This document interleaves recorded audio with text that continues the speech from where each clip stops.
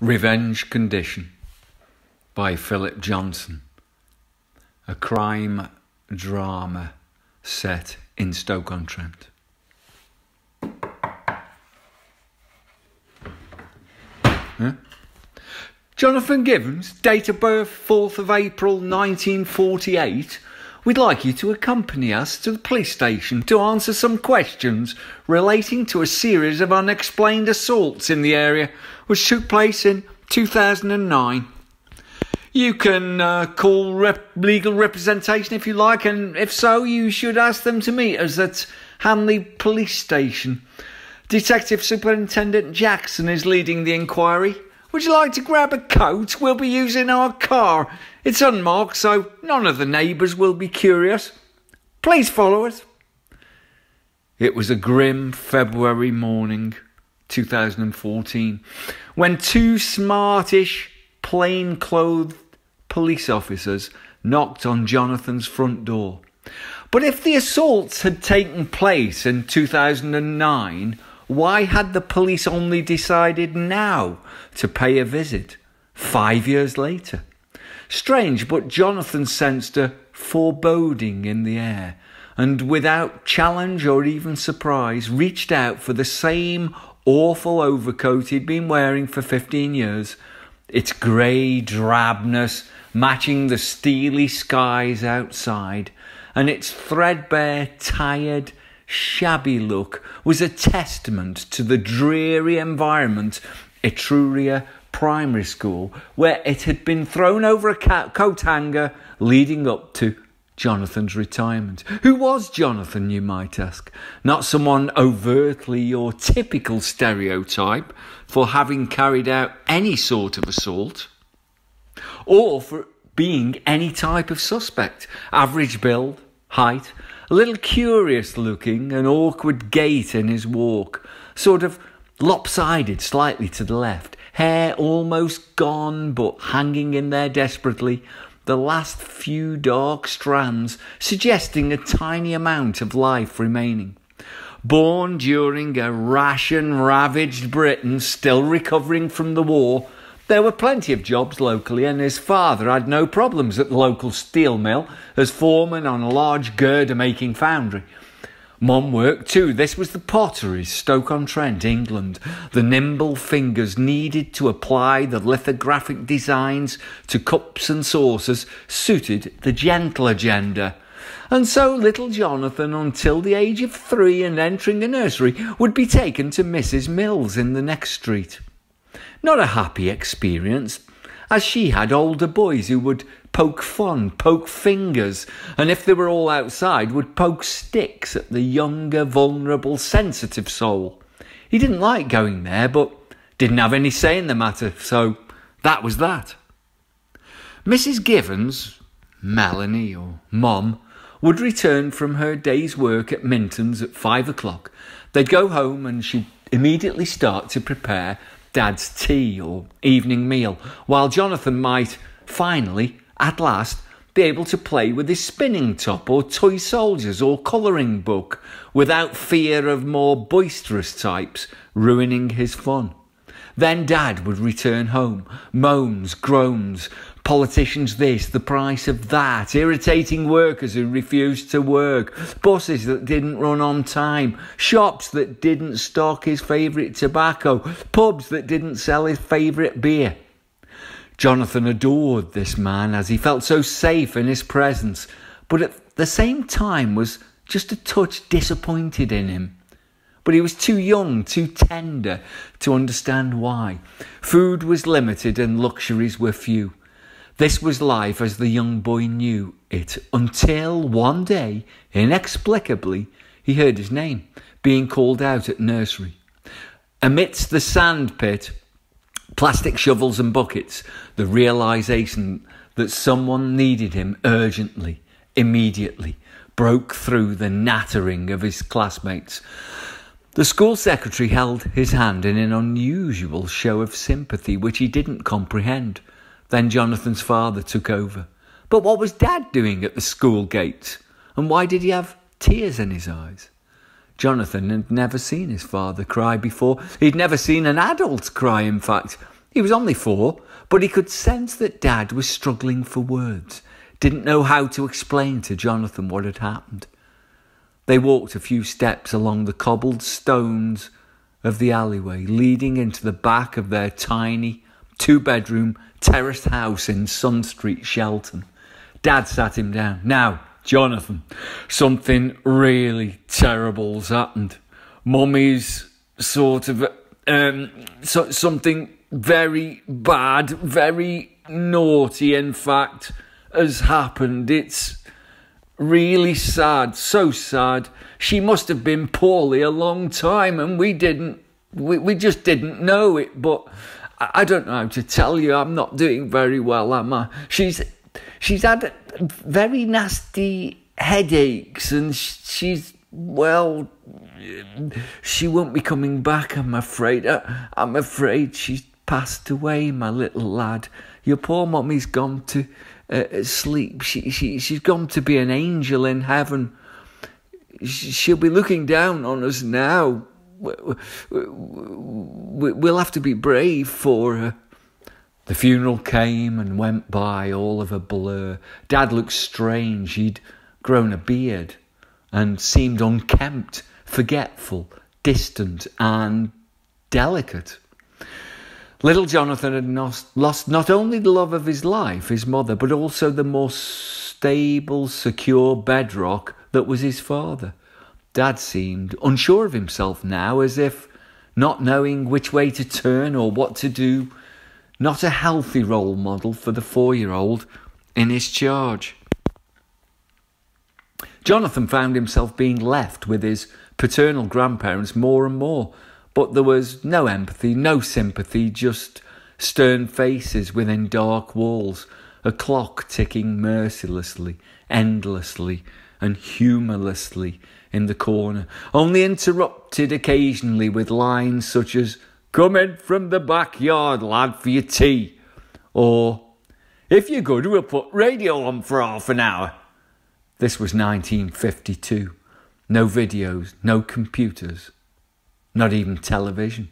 Jonathan was given a sketch pad every now and then and would draw all sorts of images, which would have provided any half decent modern day psychiatrist with a plethora of evidence as to how he was dealing with or not dealing with his recent bereavement. Soldiers shooting at each other, angst, idyllic cottages, a yearning to return to traditional family life? Trees on rolling hills, a need to escape to somewhere else, anywhere else, and the occasional angel. Could it be possible Mum is still alive in another dimension, looking at me now? We need to fast forward a few years to high school to catch up with Master Givens, the journey which would see him evolve into Mr. Givens. He'd only had a couple of friends at St Mark's Church of England Primary School, Shelton, Dad had eventually met a new lady, Wilma, at some pub or other. She'd very gently introduced herself to Jonathan one day when he was watching Saturday afternoon wrestling on their new TV. She oozed trepidation, even anxiety, the way she gingerly entered the living room with an oversensitive expression which suggested Poor boy, I know your mummy's gone, but it's all right now. I'm here to patronise you and pretend I care while sinking my soddy nails into your father's ever diminishing bank account and limited personality. Obviously, Jonathan hadn't thought those exact sentiments at the time, but once a teenager, that was the general gist of his feelings towards Wilma. If there had been the penchant for tattoos in the 1960s as there is today, he'd have had an angel, Melanie Givens, R.I.P., on his arm and a Shrek like ogre on his buttock labelled Wilma the Witch. But having a distaste for someone in those days was still unstated, subtle, and hidden, so he kept it to himself, for the time being anyway. This liaison between Dad and Wilma had unnerved Jonathan. Before her arrival, Dad had taken Jonathan to speedway races, on the train to Uttoxeter Racecourse for a close up look at the horses, although Dad had seemed distracted by knowing glances from men standing nearby and the exchange of money. What Jonathan really enjoyed, though, was being taken to the old Victoria ground of Stoke City Football Club, his own, for a while, version of superheroes in red and white striped shirts. The walk to the stadium, picking up mints on the way, the half time interval cup of tea, the magical, misty, foggy, chilly weather, complemented by the warm heart of a sports crowd, crowd housed under a giant wooden shed, namely the Butler Street paddock. But all that was to change when Wilma burst onto the scene. But all that was to change when Wilma burst onto the scene. After careful questioning, Dad finally admitted that Wilma was single due to her husband's desertion. Apparently, the fella had been on national service duty a few years before, whilst married, and had met a young local girl near his barracks at Birkenhead. He told Wilma that he'd become a fanatical Liverpool soccer fan and had an overriding passionate urge to see every single home game. So once a fortnight, he insisted on catching the train for Crewe, where he would swap to a Liverpool Lime Street train, only to go and maintain his relationship with a stunning beehive hairstyled lass six years younger. They'd sneak into her basement staff bedroom in the Adelphi Hotel, where she was a chambermaid. Later, they'd dance at the Cavern Club before Ted would reluctantly catch the last train home, conspiratorially clutching his Liverpool football programme to complete the illusion that he'd actually attended the game.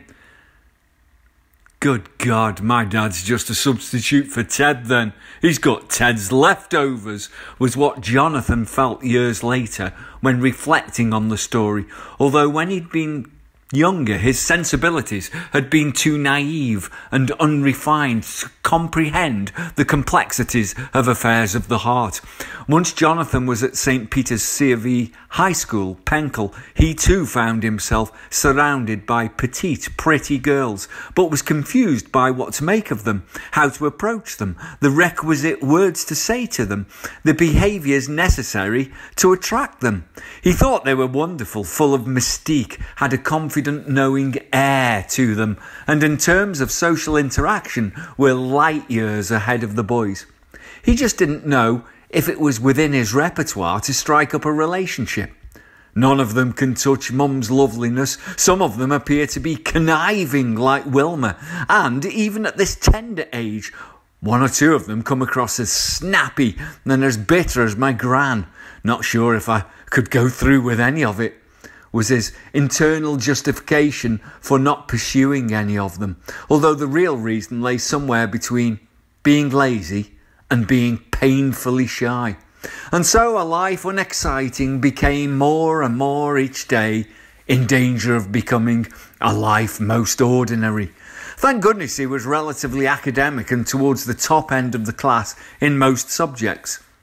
1964 was a good year for Jonathan. Good O level exam results, certainly enough for him to move on to the Hanley High Grammar School to continue A level studies in humanities. A turning point in Jonathan's metamorphosis from spotty, shy teenager to adult was when school friends Paul and Tom secured him a job glass collecting at the Crystal Ballroom nightclub in Newcastle under Lyme.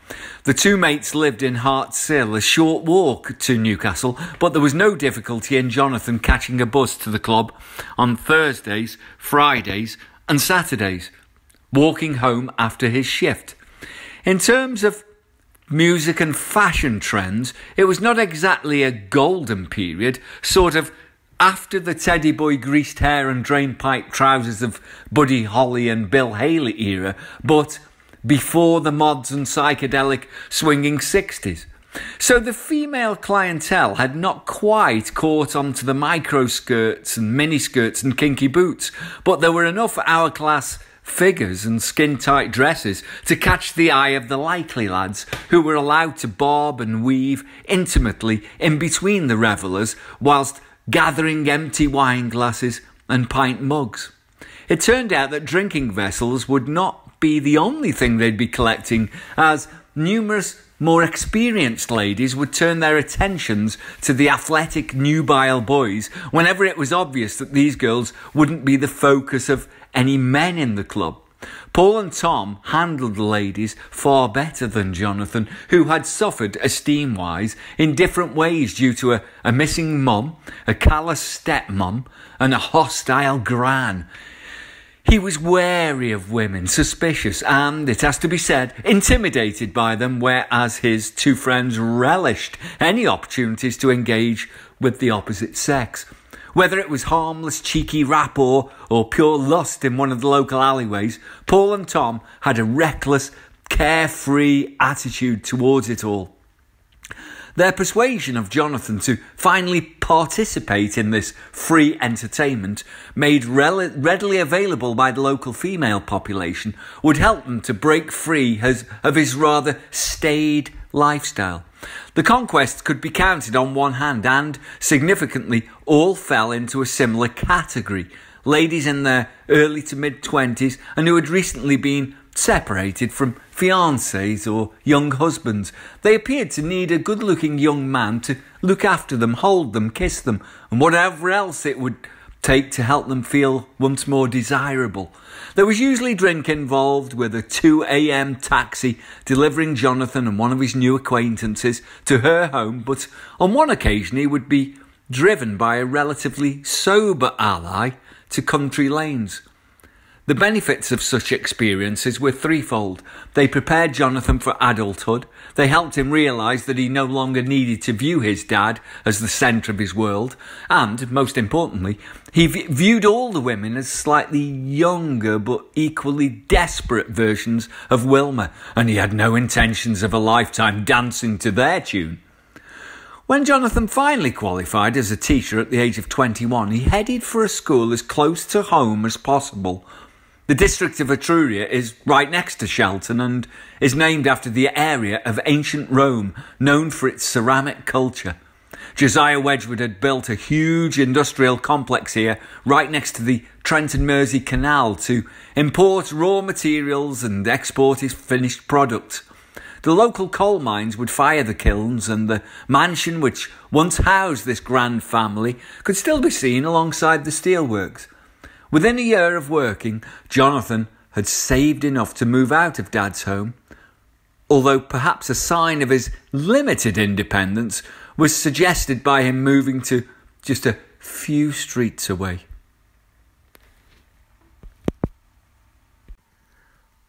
The car pulled up at the police station. The driver looked to the passenger seat and nodded. The officer took this as a signal to jump out and open the rear passenger door. OK, Mr. Givens, we're here now. Please come this way. Jonathan had only been here once before. It had been a number of years ago. One of his pupils, Jimmy Webster, wanted to see his father, who had been arrested for burglary. Jonathan knew all about the family's background and contacted Jimmy's social worker to ask if he could assist in any way. There were strings pulled, and the next day Jonathan had taken Jimmy to visit Dad before he was sent to remand prison. It had seemed a dour, cold place then, with clinking keys and heavy, thudding metal doors. Not any more, though. It was now modern, comfortable, painted in pastel shades, and lots of sliding doors with electronic access bleeping sounds. In a funny sort of way, it no longer felt threatening. And isn't that what being in custody, custody is supposed to feel like? Like you're in some sort of danger, like you're in trouble, like it's the last place you'd want to be right now? The desk policeman was far too pleasant, too compliant, and with his super cynical hat on, Jonathan thought to himself, well, that's no deterrent. He was processed in no time, essential details on a form, asked to empty his pockets and eventually signing a piece of paper which said the police had collected £22 in cash and coins, a set of house keys, and a mobile telephone. He was then offered a cup of tea. He thought, a cup of tea? At least interrogate me first for an hour and make me work for that drink. all paid for by general public.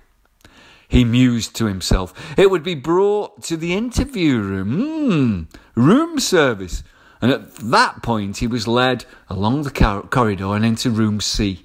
The middle aged detective sat opposite Jonathan, eye to eye, with the younger driver from earlier sitting to his left. A recording machine was shifted to the middle of the table, and so it began.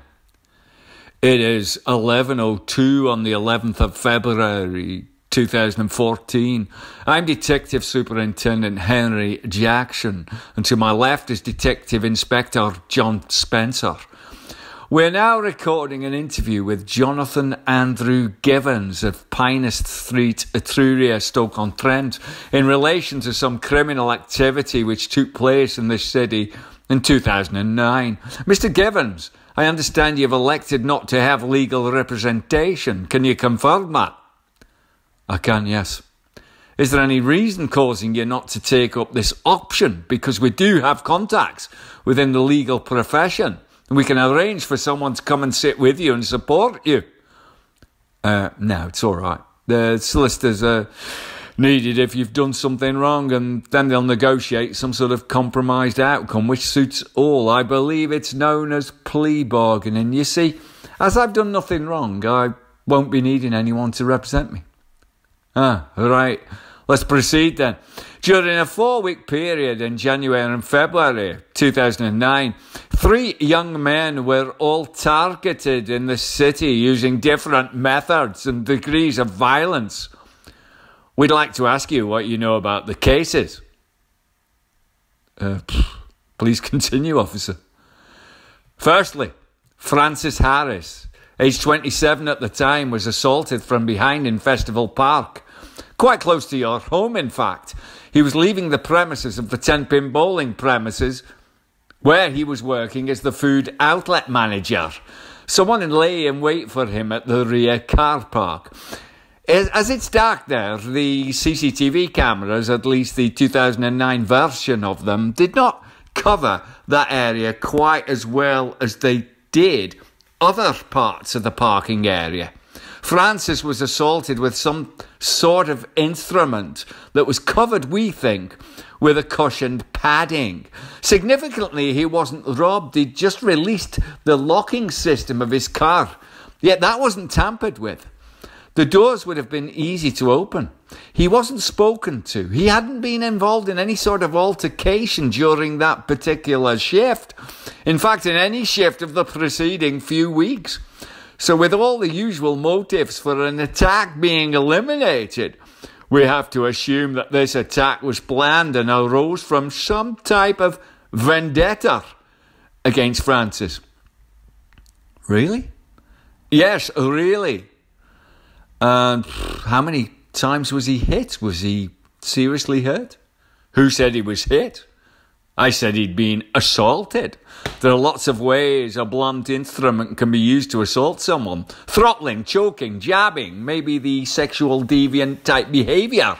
But you seem to know he'd been hit with it. How's that, Mr. Givens? Well, uh, like a lot of people around here, I, I lead a simple, uncomplicated life, and listen to or read the news is one of my few guilty pleasures. I remember the case, that's all. He, he was hit several times, uh, I seem to remember, but there were no follow up stories to say how he'd been doing. Luckily for Francis, he made a full recovery.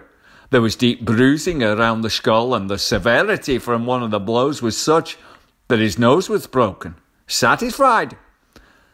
Uh, do you mean satisfied as in satisfied he made a full recovery? Yes, of course I am. Uh, but the next victim that month was not so lucky, was he? And you would know all about that, wouldn't you, Mr. Givens? Would I? Yes, well, with you being such an ardent, staunch follower of local news items, particularly if they involve violence. I don't know. Try me. Which case are you referring to? Lawrence Beaumont, aged 22, worked at a gymnasium at the Festival Park Moathouse Hotel. Again, he leaves work at 11 pm and, as he only lived a mile up the road in Basford, decides to walk home. Once more, we have a young man who is approached from behind, is struck twice, and falls to the ground. This is just a couple of hundred yards from where the first victim was attacked. But this time, the attacker whispers something in the ear of the lad. Something which doesn't really fit in with what happened to the other victim. What's that then? He whispers almost sneeringly, Mommy's boy. And we didn't really understand why. Not until now, anyway. Why now? What happened? Has some new evidence come to light? More of that another time. We'd prefer to play our cards close to our chest at this juncture, if you don't mind. Makes no difference to me, so is that it then? Just a general chat, or can you be more specific as to what you actually need me here for? Well, you see, there's the, the third assault. Now, this one really is a strange one. This baffled us for quite a while, but at last we think we're getting closer to solving it. Should I continue? Why shouldn't you just fire away, officer? Well, we wanted to give you maximum time to absorb and reflect on what I've just told you about the two previous assaults. Legal representatives often advise us that we need to set out the evidence or the facts in piecemeal, bite sized fashion so that the person being questioned has time to reasonably take it all in. D.I. Spencer took over at this point. As you don't have legal representation, we need to tread carefully as we wouldn't want any external independent observers saying that you weren't given ample sufficient time to consider the questions put to you. Uh, but if, it feels like I'm the one who's being asking the questions so far. Uh, well, that's right up to this point. If we may continue discussing the third case, I carried out a lot of the initial investigation as DS Jackson was on leave at the time. Jake Tomlinson was just 19 years old, barely old enough to legally drink in licensed premises. Five years ago, yesterday, he was returning from one of his drinking sessions, which he had already got into the habit of. These tended to take place on Fridays and Saturdays with fellow workers from the Portmeirion pottery factory in Stoke. Ah, isn't that the factory which was set up in the 1970s by the fellow who'd uh, uh, owned the Italianate village in North Wales where they used to film The Prisoner TV series? I don't think now is quite an appropriate time, Mr. Gibbons, for one of your highly fascinating history lessons. We had been warned that you intersperse most conversations with tidbits of trivia that would only be interesting to maybe a small percentage of the population. Back to Tomlinson and his mates. They'd frequent certain hostelries such as the Joules Brewery Pub, the Glebe, opposite Stoke Minster. Yes, we know that's where Josiah Wedgwood is buried. Then they'd walk past the town hall and cross Kingsway to the White Star. Yes, we know it's named after the Titanic Shipping Company. Around the corner into the Wheatsheaf, and then a swift drink in the Staff of Life, finishing in the famous Lion as it has a, a late license serving alcoholic beverages until 2 a.m. This pattern had been going on for about 12 months preceding the attack. So, well, it turns out that all of Jake's friends, family, associates knew his regular routine. Not only that, but Jake would walk home alone regularly at about one o'clock, thereabouts. Significantly, he always walked home alone because most of his workmates either lived in Stoke itself or across the other side of town in Fenton and Heron Cross. He'd not had a girlfriend since a year before, when he had apparently been in an explosive relationship with an ex school friend of his. Emily Clulow. Now, Emily was, shall we say, a very sweet and shy type. In fact, the type you wouldn't have put with an aggressive, assertive type guy like Jake. There were arguments, accusations, and incriminations between the two. Emily simply thought that Jake would eventually work through all of that anger and calm down. Sadly, he didn't chill out quickly enough for Emily. How do you know? What happened? Well, We wanted to charge him with grievous bodily harm for what he'd done to Emily, but his solicitor worked out a deal with the CPS. That's the Crown Prosecution Service. It was really frustrating for us because we knew what the little toe rag had done to his girlfriend. But his brief gave a guarantee that Jake would attend professional anger management counselling paid for by his father. He also gave undertakings that he wouldn't go within 500 yards of Emily and had miraculously out of nowhere secured himself an engineering apprenticeship, thus, allegedly, proving that he had indeed turned his life around. It emerged later that he'd only started the course for a few days while the case was cooling off. But more importantly than that, Emily did not want to cooperate with the authorities at all. She even went to great lengths to claim that the injuries had incurred accidentally.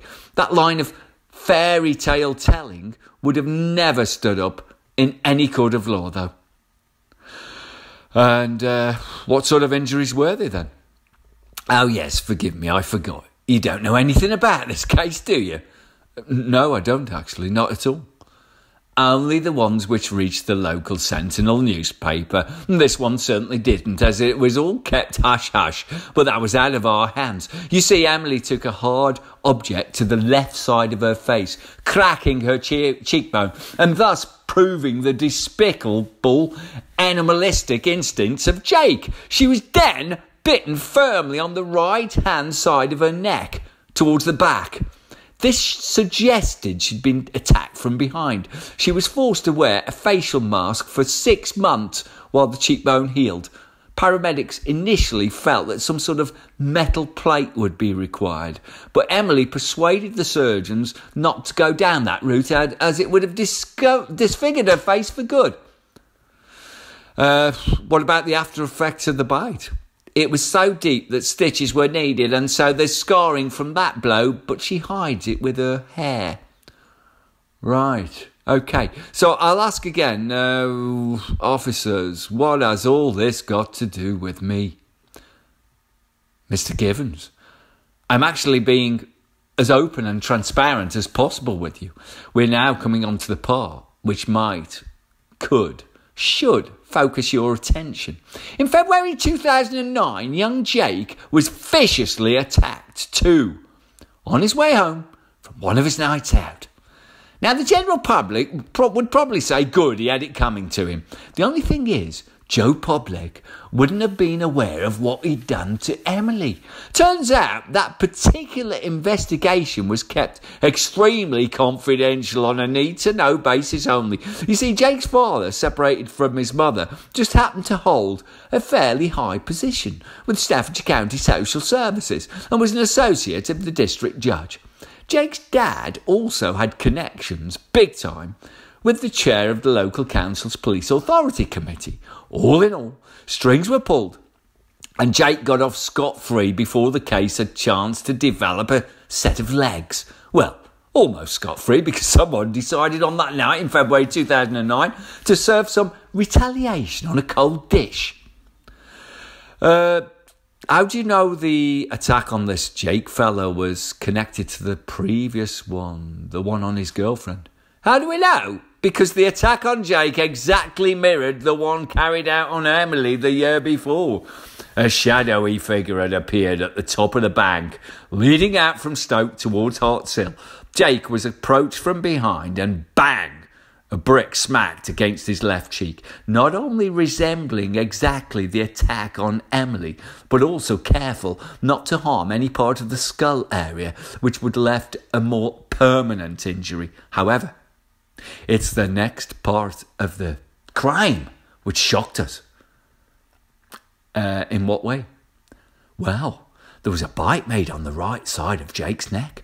Now, when Jake bit Emily's neck, it was obvious who'd done it. The indentations revealed two abnormalities in the teeth layout of whoever had delivered the bite, and subsequently, dental records showed indeed the two areas of Jake's mouth which were unmistakably his.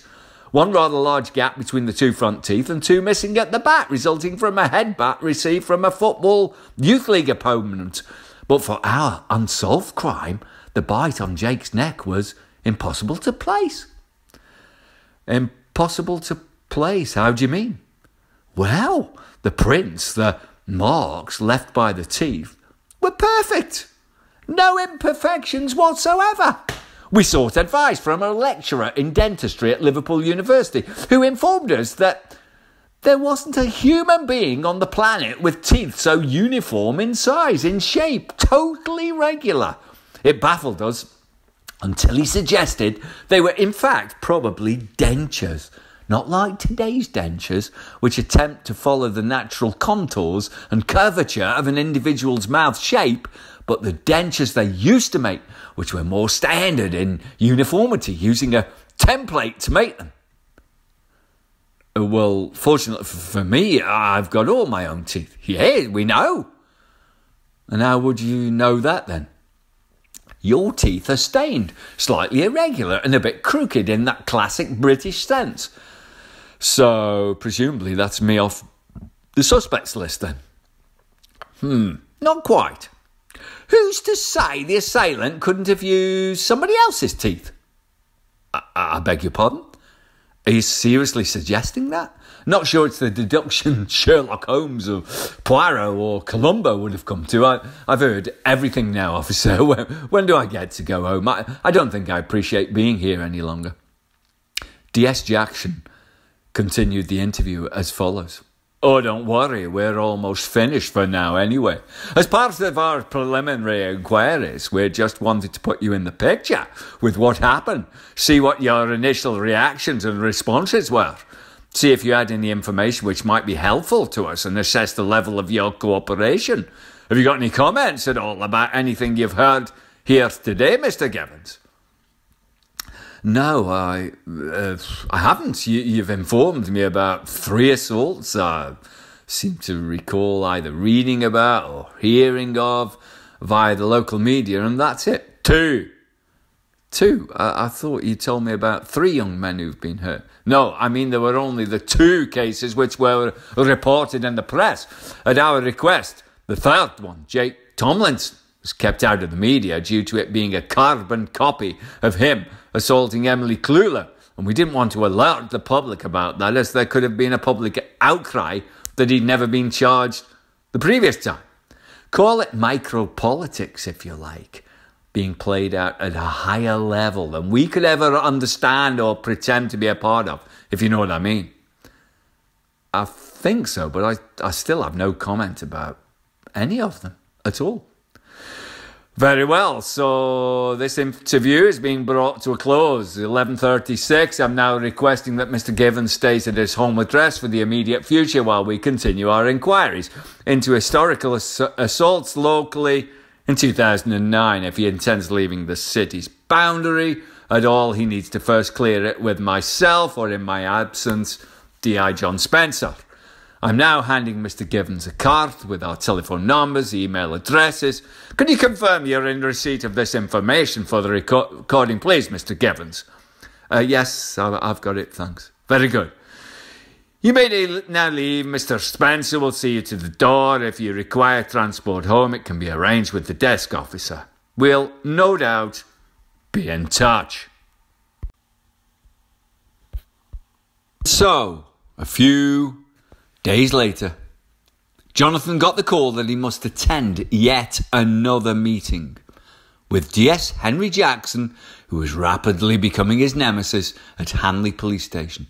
As he neared the station, he felt he somehow knew this would be the final time he would ever set foot in this particular place, in this particular town, but more of that later. Once more, the receptionist pressed the security buzzer so that Jonathon could walk in through to Jackson's office. Good morning, Mr. Forgivens, and how are you this morning? Uh, fine. why have you called me in this time? I think you probably already know the answer to that, if I'm honest, Mr. Givens. We've extensively studied all of the evidence and witness statements from the cases we've been interviewing you about.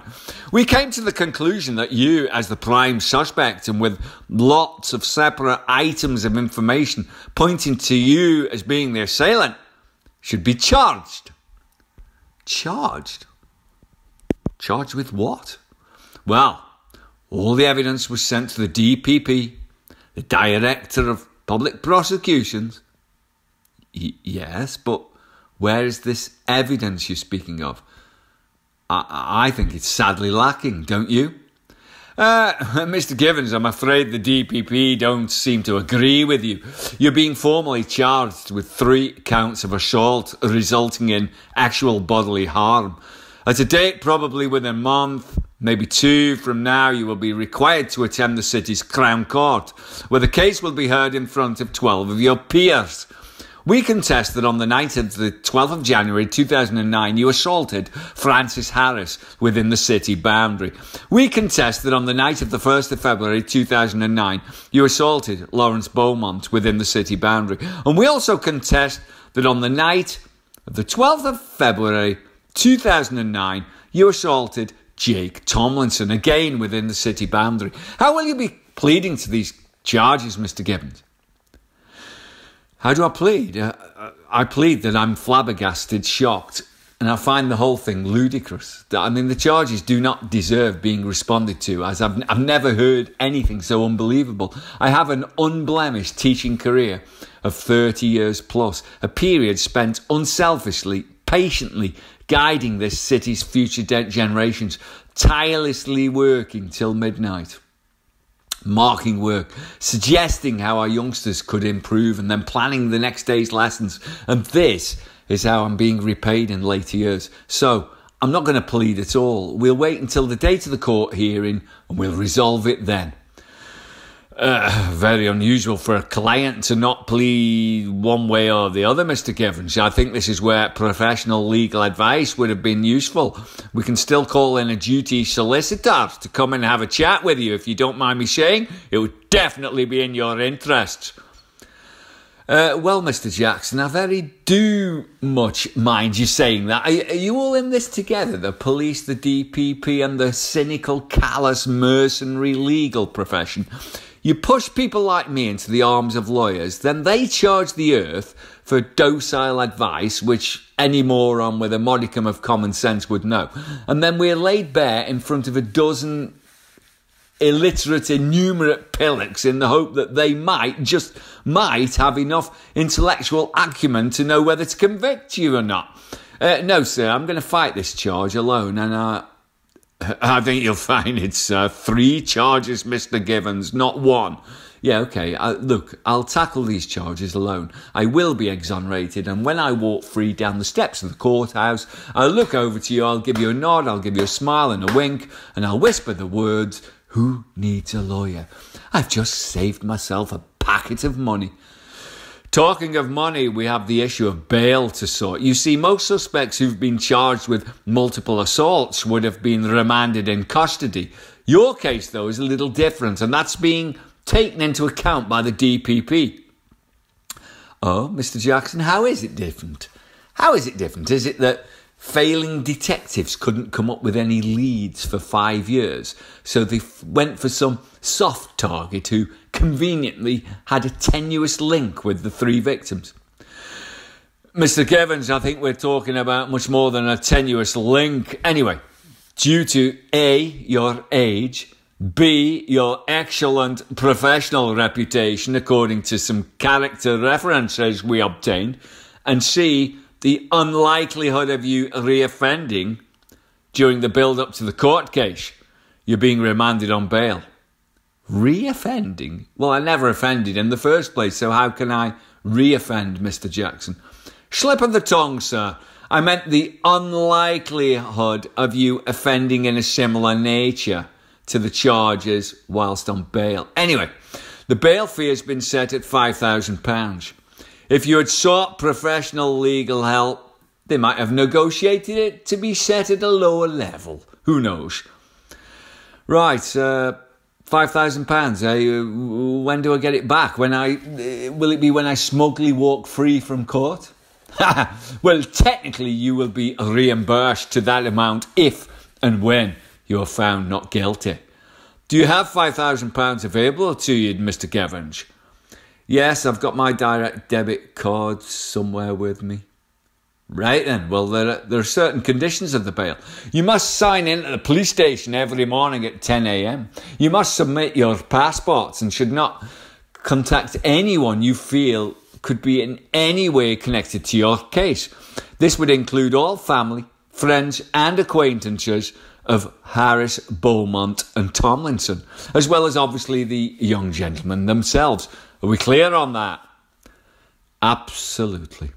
There is also uh, a possibility, however slight, that the public order could be breached if one or more of the victims discovers that not only you've been charged, but you're actually out free walking the streets on bail and living locally. Let's face it. Well, according to reports, these lads have all been a bit naughty in the past, not afraid to bully, not afraid to intimidate. At least one of them has criminal connections, and there is the motivation there to get their own back on you. Would you like us to contact a private security firm in order to advise and protect you from such a scenario developing? Uh, thanks, but no, you're all right. Okay, well then. We'll sort out this payment, Mr. Givens. Frankie Harris, aka Frankie, victim one, had come from a difficult background. His father, Paul, had been particularly violent, and so Frankie's mom had borne a few blows in her time. The native nurture psychotheorists and psychoanalysts would have had their cut, work cut out for them trying to fathom out whether Frankie was naturally violent or was merely copying his dad's inclinations. He was such a sour, sombre looking lad when he'd arrived at primary school that the early years staff noticed a miserable negative persona, more normally displayed by a fully formed adult, not a five year old. There were numerous incidents of Frankie lashing out at staff or Worse still, battering his young peers. Word quickly spread to those who taught the older children wait till this little specimen reaches you. Trust me, he's different. None of the temporary exclusions ever became permanent. This was the enlightened 80s, not the non threatening 90s when school governors felt almost compelled to give every lout the most chances possible to re- redeem themselves, to turn their lives around, to prove they could turn a corner. And yet, Francis must have had nine lives of a cat. By the time he reached the classroom of one Jonathon Givens, he'd used up eight of those seven for extreme violence, and one case of trashing a whole classroom, breaking chairs, tables, a window, you name it. So Jonathon suddenly had this brutal, bombastic boy staring at him each morning, and he took an instant dislike to him. Frankie's reputation preceded him, and the other children were obviously nervous around him. The first few weeks of the new term went by without incident, but something had to happen, and eventually it did. Frankie had this huge mistrust of people, particularly new people.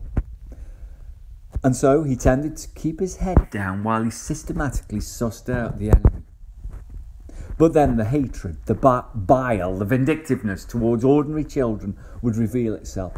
Once he understood that Mr. Givens only had reduced powers available to him. He started with an elbow here, a kick there, whilst always blaming those he'd assaulted. Yeah, well, he shouldn't have touched my pencil, or he was in my chair, wasn't he? And the regular comment, he started it. Low level disruptive behaviour was the official term, but after several of these occasions, Jonathon wondered when a major one was next due. The staff had a motto don't smile until Christmas, and the essence of this was that staff shouldn't reveal any sign of weakness until at least the festive season, in the hope that the new turn got off to a new start, a glowing start, in fact. The theory was that such a settled start could then, might then, keep going under its own momentum until the new year and possibly all the way through to Easter. Relationships would be so embedded that a kinder, warmer side to the teacher's personality could be presented later in the year, probably around May when those awful exams came along. Got to be nice to them after Easter in the hope that you can keep them on board for tests. Perhaps show a little humour, a little humanity, some TLC, and the darlings will then repay you when the exam results are published. The only problem was Jonathon had only reached November with Frankie, and things were already falling out of place. D Day came following a PE lesson. The boys were getting changed in Jonathon's class, and the girls using a different room supervised by a female member of staff. Little Stevie Parker's fate that he should be right next to Frankie as they were supposedly getting dressed Stevie and his friend Alex were slapping each other with their PE pumps, plimsolls, but gently in a non threatening way. Just tickling each other, really. Now, Stevie probably thought he would get away with this, as Mr. Givens was chatting to Mr. Davis at the door. So the two boys carried on their slap fest, but unfortunately, Stevie's plimsoll, aimed at Alex, missed him and hit Frankie clean in the face. Frankie's persona viewed this as a direct threat upon his well being. He wouldn't, couldn't just laugh it off or accept the genuine apology which was coming his way from Stevie. Frankie instinctively took out all his hatred, all his raw cruelty on Stevie, and this was delivered in the form of punches, kicks, so quick fire, so violent that it wasn't long before Mr. Givens was notified of what was happening. Even as he separated the two boys, or rather separated the aggressor from the victim, Frankie continued to lash out in a frenzy of hatred which did not match at all the innocuous incident which had just taken place. Jonathon said to himself right there, right then, what a nasty excuse for a human being. I've never witnessed such vitriolic punishment, so ruthlessly administered um, upon someone so undeserving of such treatment. If I had my way, I'd arrange for the biggest bully in the school to unleash instant revenge on this little prick. But sadly, I'm not allowed to. Unhelpfully, Jonathon's boss at the time, the head teacher, was equally as nervous around Frankie's dad as the smaller children were around Frankie. It was fairly clear, going on previous experience, that every excuse fathomable was going to be dredged up on Frankie's behalf. The incident would be played down and explained away as an unfortunate misunderstanding, where the playful frolics of young Stevie had in fact caused Frankie to be struck first, thus, kind of, justifying, well, sort of, his subsequent battering of Stevie. Mr. Givens vowed there and then, if I ever get the chance to give that horrible shit some of his own medicine, boy, I won't half grab the opportunity with both bloody hands. Victim 2, Lawrence Beaumont, started life as someone who could not take direction, some might say guidance, from anyone, particularly those in an authoritative position. Once Dad had departed the family home, via some persuasion to do so, Lawrence became the kingpin, doted on by his older sister and his mother alike. Could it be that his assertive, alpha male antagonistic persona resembled that which his father had displayed ten years earlier, when he and Lawrence's mother had got it together? Funny how, in some relationship, that first silverback gorilla style of approach, brash, cocky, loud, Jack the lad, captures some female eyes. But the initial infatuation with such a powerful character wanes once the wife becomes established, realizing it is she at the family, at the center of the family unit, and it's she who possesses the blossoming confidence to put down the most muscular of men with a sardonic comment which seems to scream, I don't care how big you are, you don't impress me anymore, you certainly don't scare me. Lawrence learned from a very, very early age that all he had to do was run to mummy or sister, and he would enjoy a level of support that could only be matched metaphorically by a personal team of highly qualified, experienced barristers, social workers, and military personnel. This meant, for example, that any lunchtime supervisor, that's dinner lady from his nursery or early infant school days who so much as questioned his behaviour on the playground would then be subjected to a volley of verbal assaults such as, I don't care what you think, I'll do what I want, you can't make me stop, or the even more lethal, I'm getting my mum in to see you. This final threat was very often, annoyingly, followed up with mother coming into the school office to have it out with the secretary, the head teacher, the lunchtime supervisor herself, or any parent whose child had had the temerity to point out the unrealistic nature of Lawrence's ways. Whenever the school needed to speak to Mrs. Beaumont about her son's misdemeanours, a whole plethora of excuses was wheeled out about how he suffers from asthma, and your accusations are increasing his anxiety and therefore increasing the possibility of him having another episode. Or, yeah, well, if you investigated the incident properly for once, you'd have realised it was that bloody Johnny Wagstaff who'd started it. and then it took my Lawrence to finish it. But he was only defending himself, and I've told him that's, that's what he must do when bullies start throwing their weight around. I'm actually proud of him. Mother would usually have the large, looming figure of her female offspring standing behind her, looking all menacing with arms folded, dark eyes fixed on the poor member of staff, and assorted cheap jewellery clinking away while glistening in a sad plastic and chrome sort of way. Lawrence knew his mother was covering his back on all occasions and through all eventualities. His complaints about staff had increased in both quantity and complexity as he moved from one school to another. Mum would invariably take up with a new man in a new suburb in another social housing flat, only for it to all end in tears when either A. New stepdad couldn't keep up with Sharon Beaumont's material and physical demands, or B. New stepdad could never quite get used to being ordered around by two spoilt, Satan esque kids. Lawrence's fifth school happened to be Etruria. He'd be joining Mr. Given's class of otherwise unspectacular 10 year olds. The year before, this particular class had been compliant, reliable, boringly reliable, and fairly quiet, almost to the point of being docile. Nothing wrong with that, of course, but predictions for their potential future Academic prowess suggested they'd be average in a dull sort of way. Again, nothing wrong with that, but the peace was about to be horrifyingly shattered by the new arrival. He sulked his way into the classroom on day one, as if to say, Yeah, I'm the new kid, so what? Do you want a photograph or something? What are you looking at? He needn't have been so defensive, of course, because there were no big characters in the class, so no one would have been remotely interested in challenging him anyway, despite his assumptions that they might. Jonathon attempted to be cheerful with the lad, but he'd read the reports from previous schools and he didn't hold out too much hope for any sort of beautiful relationship between the two of them.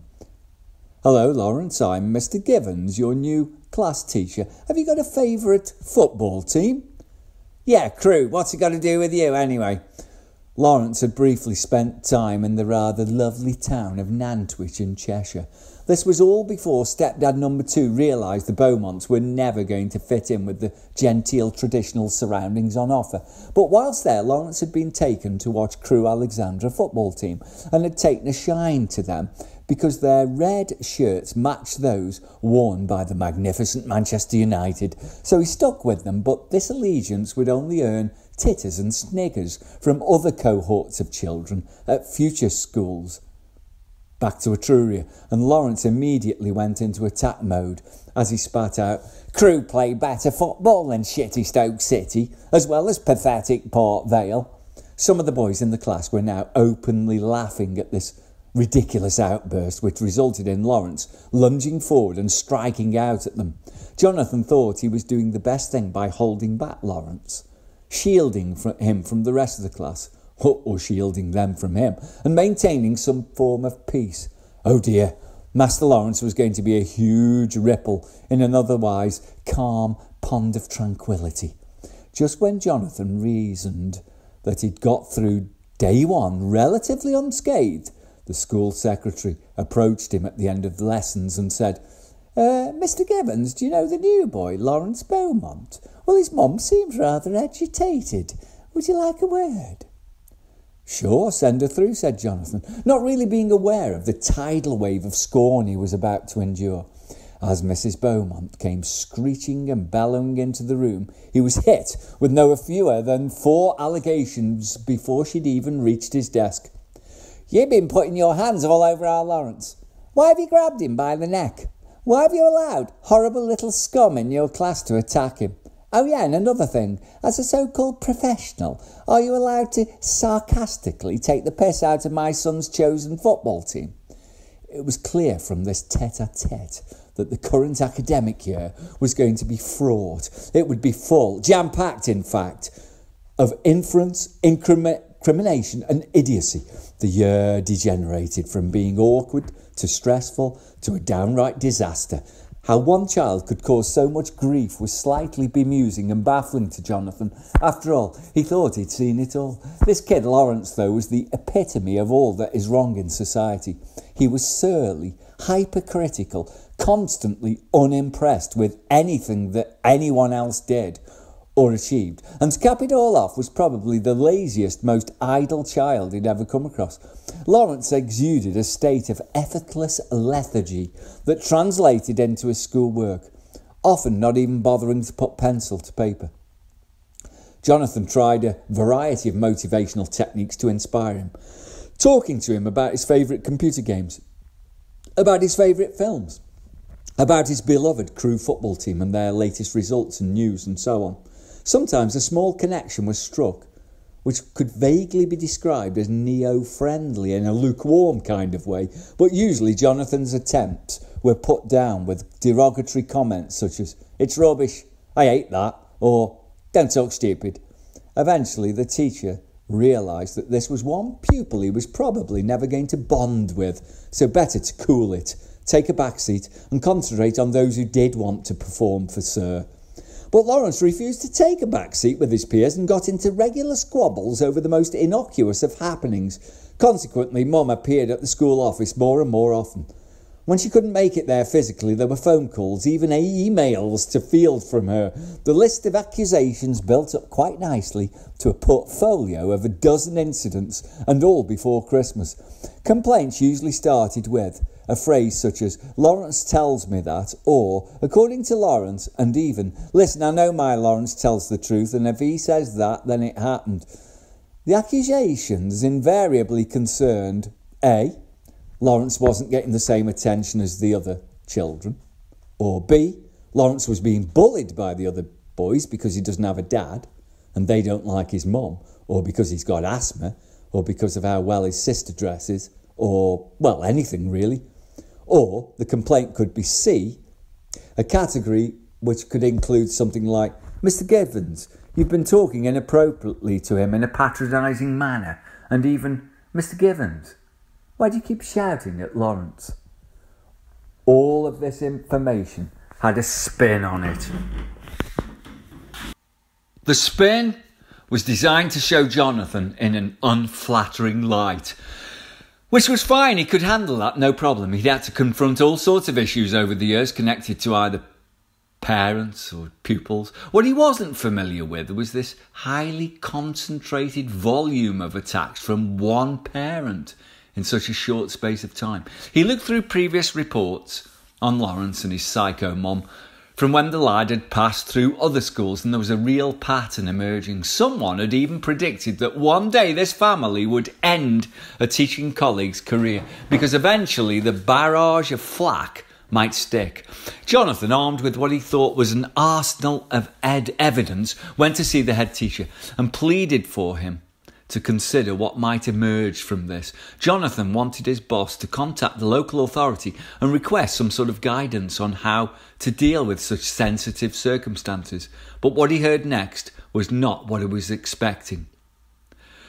Uh, Mr. Givens, look, I've listened to your concerns, and yes, it must be quite challenging having a pupil who not only has a multiple set of learning needs, as well as behavioural and social ones, but who also has a mother who asks tremendously difficult questions. But may I remind you that we are entrusted by Her Majesty's Government to educate future generations to the best of our ability. Now, as you will be aware, every classroom is a microcosm of society, so there will be 25 out of 30 normal, law abiding, cooperative, and dare I say it, people of average tendencies. But there will also be a couple of educationally below average children, perhaps one mildly disruptive pupil and one who will push the boundaries. He'll push and push and push to see how far he can go. That person just happens to be Lawrence. He's stroppy now, but he also will be when he's 18 and also at 30 and even at 50. Our government expects us to accommodate him, to engage with him, and, hmm, I think you'll agree with me here to tolerate him. Jonathon thought to himself, You soft bastard. You're not going to sport me on this one, are you? Then he remembered something the school secretary had revealed that Mrs. Beaumont had been spending a lot of time in the head teacher's office behind closed doors. Talking about what? Certainly not discussing the weather. Holy shit, now I have got a battle on my hands, Jonathon thought to himself. He did have union membership and he did know a couple of parents who sat on the school's governing body. But would that really be enough? He snapped out of his temporary daydream and allowed the head teacher to continue. You see, Jonathon, we live in times of great change of transparency. The key word is accountability.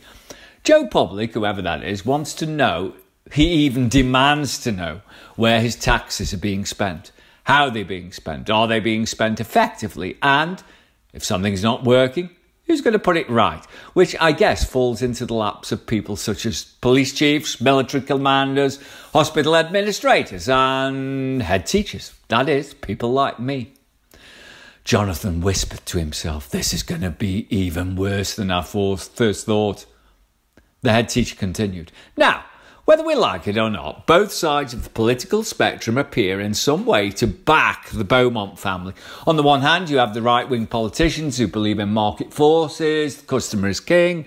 And wasn't it Mrs. Thatcher pre Ofsted who said that if parents weren't happy with their school's performance, then she wanted them to go in and ask searching questions? You also have the left wing views of the likes of Mr. Blair, who want inclusivity to be the major theme in our schools. Everyone needs to feel included, and indeed has to be included, no matter their age, ability, background, and I'm afraid whatever their behavioural traits are. Mr. Givens, Lawrence Beaumont is under our care. We have a duty to provide him with the best education possible. It doesn't matter one iota what our personal thoughts are towards him or his family. We are professionals and have to keep such thoughts to ourselves. He and his kind cannot be excluded. Do you understand? Yes, I do. So, the writing was on the wall, or more strikingly, cast in stone. Things were going to become ugly, very ugly, and this was going to have a direct effect on Jonathon's career. It only took until sometime during the spring term for Jonathon to receive the letter he'd so been dreading. It had the local authority stamp on it and alerted him to a fact finding me- meeting he must attend. Ominously, it stated that a panel of three school governors would also attend, in an observation only capacity, and that Jonathon could have union representation at the meeting if he wished. He had already followed union advice by writing a catalogue of all Lawrence related incidents, including the wider family. It amounted to no less than 50 handwritten pages and was seen as an insurance policy which could be used to coherently respond to any charge made against him. Armed with a portfolio of evidence, Jonathon saw no need to have the union on board and so declined their offer of support, as he felt it was almost akin to an admission of some level of guilt. The meeting took place in the school library and the opening procedures Proceedings revealed that about one month previously, when Lawrence had been brutally pushed aside by his peers, during a PE lesson, Mr. Givens had only given a cursory glance at Lawrence's injured knee. Apparently, the injury was so serious he had to be taken to accident and emergency hospital that very night, as he not, he was not even able to stand due to the extreme pain he was suffering. Mrs. Beaumont wanted to know why he, Givens, A, had allowed brutal tackling to take place during football, B had not attended to the injury, C had not alerted parents, D had not completed an accident form, and E had shown no interest in following up the incident by asking how Lawrence was the next morning, and so on and so forth. Fortunately, due to the copious notes Jonathon had kept, he was able to provide five reasonable and balanced answers answers to those five tricky questions. He thought these accidents happen on a daily basis up and down in the country. It only takes one parent hell bent on stirring up trouble to make society realise that health and safety, political correctness, duty of care, safeguarding, and so on can only guarantee a basic level of security. But we're all vulnerable at any time to a freak mishap, which can then snowball into litigation. The authorities noted that the teacher had taken precautions and delved into the seriousness of the injury, a fact which had not been passed on to Mrs. Beaumont at the time, and thank goodness he'd kept all those notes to back up his version. After a two hour deliberation, he was exonerated. It was the first time in an otherwise spotlessly clean career when Jonathon had been made to, made to squirm to wriggle his way out of such a mess. The incident had left him feeling sick from somewhere deep in his gut came a primeval or medieval grunted vow that Lawrence was an outright fucker. If I ever get chance to nail that little bastard, I swear I will. Victim 3 Jake Tomlinson was another troubled soul who wanted to make his mark in Mr. Given's class for all the wrong reasons, another product of the stereotype broken home. It was not clear if it was dad or stepdad who had the most influence over him. His mother seemed to play these two men off, one against the other, and for some curious reason appeared to hold some sort of mystical spell over them. She knew that by praising one of the men over the other, it would achieve the desired effect of the affronted party upping their game trying even harder to please her, and it all helped her retain a sort of queen bee can do no wrong status. But there were darker forces at play, which no one could quite get to the bottom of. Jake had a younger brother and younger sister at the same school who were absolutely malleable, compliant, and eager to please. Jake, though, was different. From the get go, he seemed to have a disturbing, older than his years persona. Later up the school, this manifested itself through talking about the opposite sex in a pornographic manner. He would simulate sexual actions and shout out, I'm coming, etc., or boldly ask male members of staff, In your opinion, sir, who's the hottest page three babe? And which teacher at this school do you fancy most? You must have a favourite, sir. It was not entirely clear where Jake was being exposed to any inappropriate material. This was the early days of the internet 1999, certainly in terms of accessibility for young primary age children. Most weekends he visited biological dad, who incidentally had a new young bride. The two younger children only visited occasionally, preferring to stay closer to mum, and apparently the newlyweds had a reputation locally for a rather high decibel bedroom activity volume, which had probably been witnessed by Jake. However, Stepdad, too, was no angel. He'd had a reputation for dating numerous young girls and had a penchant for visiting massage parlours before moving in with Mrs. Tomlinson. So who was to say? Of course, Jake might have been discovering all of these guilty pleasures for himself, uh, as he was sufficiently savvy and ahead of the game in IT ability, and, as if already a teenager, his bedroom had a fully functioning computer installed, as he got older, there was an increase in the parents of girls who insisted to the school that they didn't want their daughters sitting anywhere near Jake Tomlinson. Presumably, Jake's parents presented a rare united front to the school. And they made comments such as, He's no worse than any other red blooded lad, or It's those older high school lads going around polluting the minds of younger boys, or our Jake doesn't say anything anywhere near as promiscuous as what comes out of the mouths of those little slutty girls in his class. He's told us all about them. Of course, the head teacher didn't really believe much of this bile, but once more decided not to challenge their outlandish viewpoint and instead played the softly softly approach. The one which appears to be fair and liberal at face value, but invariably in education, the one which is doomed to fail. Jonathon Givens did not really know how to handle Jake. He really detested how brazen he was and how popular he seemed to be with the rest of the class.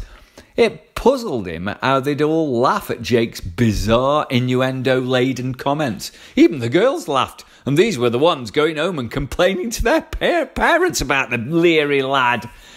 He'd try and divide and rule by punishing the better behaved kid who'd, kids who'd appeared to support Jake's comments with giggles, and he'd place them in detention and argue that they are colluding with Jake and being just as disruptive.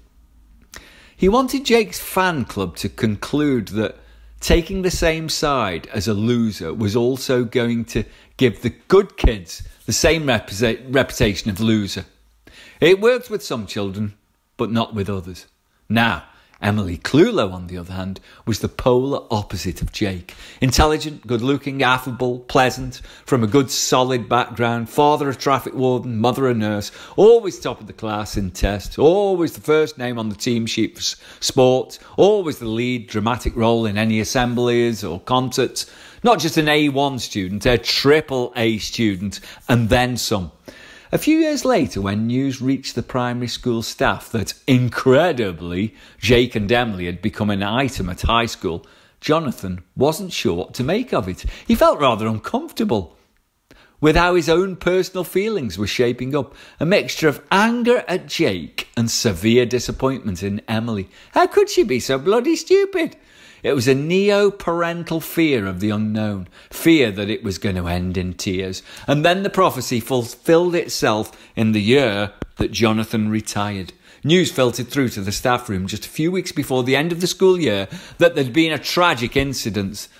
Typical comments were, Poor Emily, such a lovely girl. Whatever did she see in that git, Tomlinson? He had pure pervert potential even from the age of eight. One or two of the male staff were a little bit more direct with their descriptions of Jake, some of them unprintable. The staff could not quite work out how the case reached trial.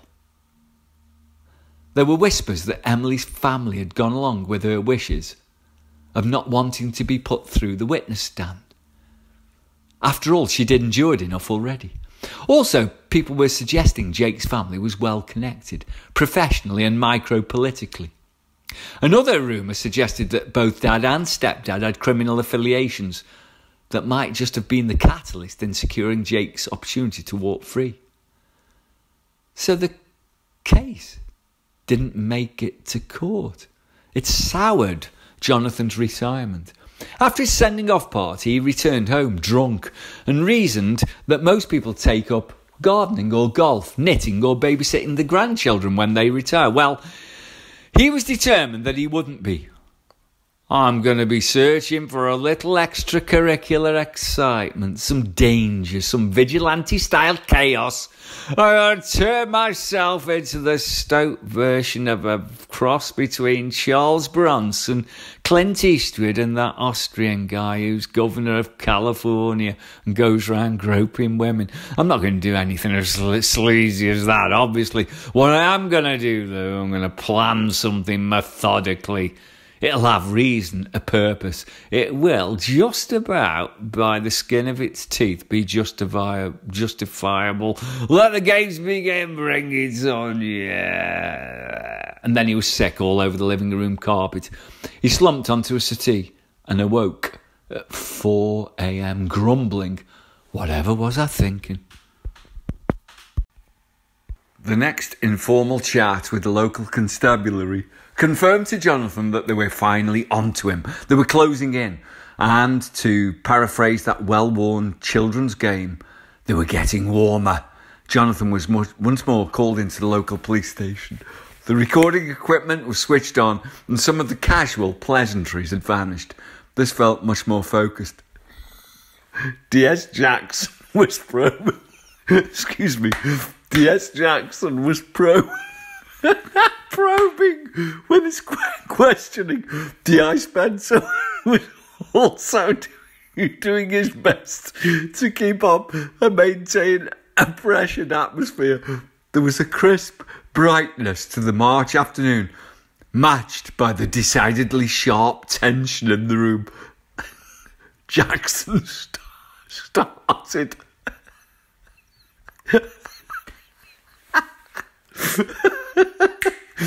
Excuse me, sorry, here we go. It's the 10th of March 2014, 2:16 p.m. I'm sitting in front of Jonathon Givens. Date of birth 4th of April 1948. Mr. Givens, we interviewed you previously on the 11th of February of this year. We asked you about the 2009 assaults of Francis Harris, Lawrence Beaumont, and Jake Tomlinson. You denied having any involvement in the incident. That's correct. You also at no time acknowledged that you had, in fact, taught them, all three of them, at Etruria Primary School. Uh, well, you see, it did occur to me last time, officer, we were speaking that I had known them briefly in some capacity or other in the past and uh, a rather huge and some would say peculiar omission, don't you think? Well, I didn't omit anything. You never asked if I'd taught them. A glaring piece of information blatantly hidden from us, Mr. Givens, almost as if you were desperate to conceal your former working life spent with the three victims.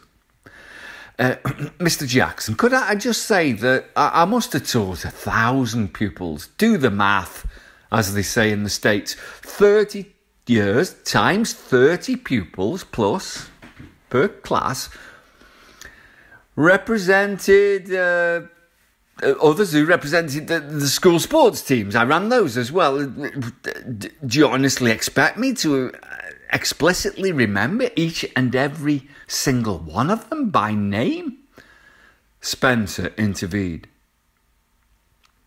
The surnames Harris, Beaumont, and Tomlinson are hardly that common, Mr. Givens.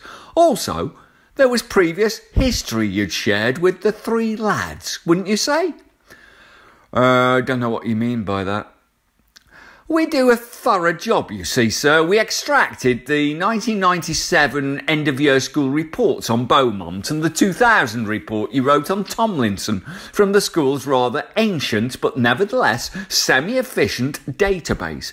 We even had to acquire the services of a police technician from regional office who was able to decipher floppy bleeding discs as for the report you handwrote on Harris in 1992 when he was a member of your class, his mum dug it out from a cardboard box in her attic. I must say, the tone of your comments contained in those reports towards those three are hardly neutral, bland, insignificant enough to suggest you would ever have forgotten them, sir.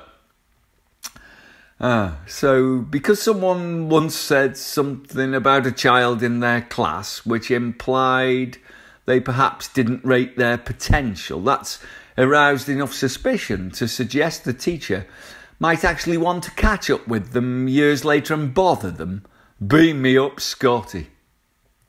All right, then, let's examine a, a flavour of typical comments we found to provide a bit of background on how much you actually loathe those three boys, Mr. Givens. I think you'll find I never loathed any of the pupils in any of my classes, Mr. Spencer. Really? How about this then? Harris's report 1992 of him and Mr. Givens, his class class teacher, has signed this. It is written. I feel at times he is a danger to his peers and requires professional counselling to work through his anger. He must learn to contain that temper if he is to avoid future school expulsions. In 1997, again signed by Mr. Givens, it says of Beaumont, I have never met a child with such a dark negative overview of school life. All offers of support and assistance are met with disrespectful non interest. He appears to gain a disproportionate level of joy in pushing the tolerance of staff and pupils to its outright limit. Finally, Tomlinson in 2000, Mr. Givens asserts that Jake demonstrates an utterly inappropriate attitude towards female classmates. I am concerned for their safety and welfare if this side of his personality develops further. I recommend he be taught in all male groups until he can demonstrate a more balanced approach to female pupils. Now, all those comments have an air of being rather chillingly personal and judgmental. Don't you think, Mr. Givens? Would you like to comment? Uh, well, this is all typical police work. It's as if you've already made your minds up. I'm not going to rise to it. Anyway, I used to report, write reports like that all of the time. It was part of my. Wrong! You did not write reports like that all the time. And how do we know this? Because we read hundreds of the damn things. These three were the only three whom you ever wrote anything contentious and controversial about. All of the other reports bordered on tedious repetition, going through the motions, couldn't care less mutterings from a middle aged man who'd been doing the job too long. There were just three reports written by you which stood out from all the others. And those three were Harris, Beaumont, and Tomlinson. Well, uh, sorry, sir, but society doesn't like facing up to the fact that we sometimes produce individuals who don't conform. They don't fit in and they cause trouble for everyone else. You make these three sound like a company of chartered accountants, as if they're harmless and conventional. I can assure you they weren't. Ah, right. So now we've gone from not knowing these three characters to possibly having known them, and finally into admitting there was a grudge between you and them, Mr. Givens. Well, officer, for someone to have a grudge against someone, you have to have once cared about them. The relationship sours, and the aggrieved party feels let down. That's where grudges set in. Truth be known, I never actually cared about these three, not during their school days, not during their adult days, and certainly not now. Couldn't care less. But a lot of that was based on what their previous teachers had said about them, and they painted a pretty bleak picture of the boys as well. Eh? I mean, perhaps you should interview some of them.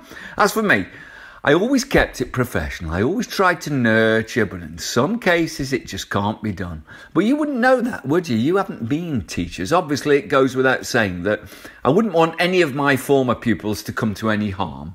But that's as far as any feelings towards them go. Uh, I'm just not sure why the finger's being pointed at me. I mean, I can think of plenty of staff who despise them, particularly later on when they reached uh, high school. We know, Mr. Givens. We've now questioned a total of 16 former teachers.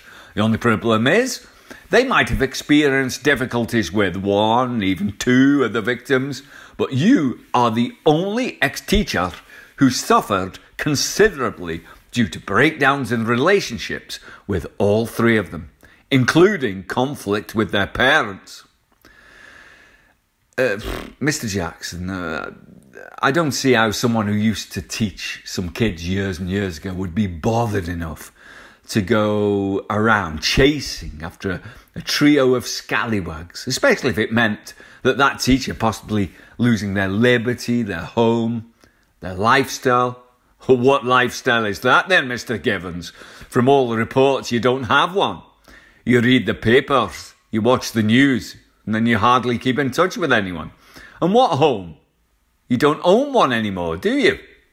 Look, Mr. Jackson, you, you, you still haven't shown me any hard evidence, any CCTV footage, witnesses who saw the attacker, uh, DNA from hair or skin or blood at the crime scenes. Anyway, how, do you know it's one attacker? They, they could be three separate assailants, couldn't they, Mr. Jackson? Could they? Perhaps. But let me remind you of other evidence involving yourself. From what we've heard, you quite favour using internet cafes rather than the much more easier to trace home computer or the public library online service. Much too obvious, hmm? Spencer then took up the questioning. You seem to have developed a habit of visiting an internet cafe on City Road, Fenton, run by a Mr. Salvatore Francini. It's known simply as Sal's. Uh, yeah, so? Well, Mr. Francini told us you would visit maybe once or twice per week around 2008, 2009. He said you were extremely quiet and courteous. Noticed you always seemed to be on Facebook pages, which he thought was slightly odd for someone of a certain age. Uh, I don't think, Mr. Spencer, I, I, don't think Facebook has been banned yet for those of a pensionable age in the UK, has it? No, You're right, it hasn't. But you see, your visits to Mr. Franchini's or Sal's only came to light when we interviewed one of your ex colleagues. For confidentiality, we won't re- reveal which one. He told us he hadn't maintained contact with you once you'd retired in 2008, but he knew you attended the CAF because one of your ex pupils' mothers used to serve drinks there. She'd want to reacquaint herself with you on several occasions, but noticed you always appeared to be preoccupied, tense, as if in no mood for small talk. So she thought better of the idea and simply served you your cappuccino, each time eh, taking £2.50 for your refreshment and 30 minute online time slot. She did, however, chat to your ex colleague who she would bump into regularly while shopping and would often start the conversation with, He's been into the, Again today, your old mate Mr. Givens from school. Now, some might suggest that you'd deliberately chosen an internet cafe a couple of miles away from your residence and workplace to drastically reduce the chances of anyone knowing you there. Oh, so, um, Mr. Spencer, we're all supposed to be getting excited about a bit of gossip, are we, rather than hard evidence? Jackson then intervened with, Turns out it's more than idle gossip, Mr. Givens. We followed up this line of inquiry with a very cooperative Mr. Franchini. He said all the regular visitors to his internet cafe had their own account. It just so happens that all the computer usage from that period by his 55 regular customers was stored on his server. Thanks more Thanks to our friendly police computer whiz kid Boffin for retrieving all that juicy data for us. It made compelling reading, I'd say. Uh, Mr. Jackson, isn't that uh, computer hacking and technically an infringement of my civil rights? I think you'll find Labour are no longer in power, Mr. Givens. Since the Tories got in, we can access anyone's records if we can prove it's in the public's interest. I think three young men being battered within an inch of their lives is sufficient reason for us to properly investigate any suspect we choose to. Spencer continued. Anyway, moving away from politics, we discovered you were systematically following the Facebook pages of Harris, Beaumont, and Tomlinson in the run up to those assaults why would that be? Were you concerned for their welfare? Did you want to catch up with them and perhaps admire their personal achievements? I put it to you that you were using information on those Facebook pages to specifically find out where those lads were working, when they were working, who they were mixing with, and you then built up a profile of when they would find themselves in a vulnerable situation, alone, preferably somewhere dark and quite isolated. You did your homework. I'll give you that, Mr. Givens. Uh, look, for all you know, I might just actually fancied them and merely enjoyed looking at photographs of them. I, I, I, mean, after all, I am the original eternal bachelor, and you know what the general public think of my kind. I haven't approached any of them, though, and so could never be accused of grooming juveniles. Not that any of them are juveniles, anyhow. I haven't been watching anything with pornographic content. And one problem though, Mr. Givens, you're not gay, are you? Our research shows that in your younger days you were quite the ladies' man.